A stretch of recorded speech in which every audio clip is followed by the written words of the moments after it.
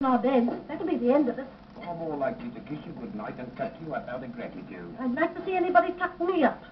No good's going to come of this, mark my words. Yes,